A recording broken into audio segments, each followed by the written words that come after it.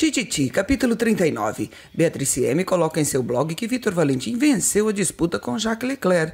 Com essa postagem, Eric Clenes comemora. Desirê lê os elogios de Beatriz M sobre a sua participação no desfile. Dorinha acha que a modelo tem bastante talento.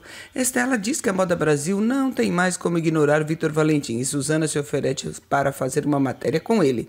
Bruna sugere que Edgar se mude para um flat até o casamento. Edgar fala para Marcela que vai sair de casa e que a está esperando no flat. Jaques fica revoltado com as artimanhas de Valentim e desconfia de todos à sua volta.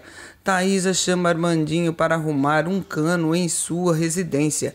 Cecília fala para Ariclenes que teve um filho.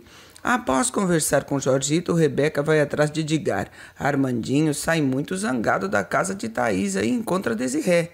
Rebeca questiona Bruna se existe algo entre Edgar e Marcela. Jaqueline vai até a residência de Marta e mancha todos os seus tecidos com vinho. Jaqueline vê Ariclenes. Marta e Nicole veem Jaqueline na porta da residência de Ariclenes e vão falar com ela. Thaisa percebe o clima de romance entre Desirê e Armandinho. Ariclenes resolve usar os tecidos manchados por Jaqueline para fazer sua coleção. Logo após, diz para Marta que Valentim arcará com todo o seu prejuízo. Rebeca fala para Camila que Edgar se mudou para um flat. Jaqueline conta que se vingou da equipe de Valentim e Jacques teme uma represária do rival. Ariclenes observa o ateliê de Jacques quando é surpreendido por Rosário, que o confunde com Roberval.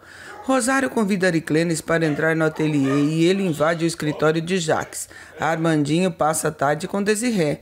Luísa visita Edgar no flat e tenta reatar o romance deles. Marcela informa Bruna e Gustavo que vai deixar a mansão.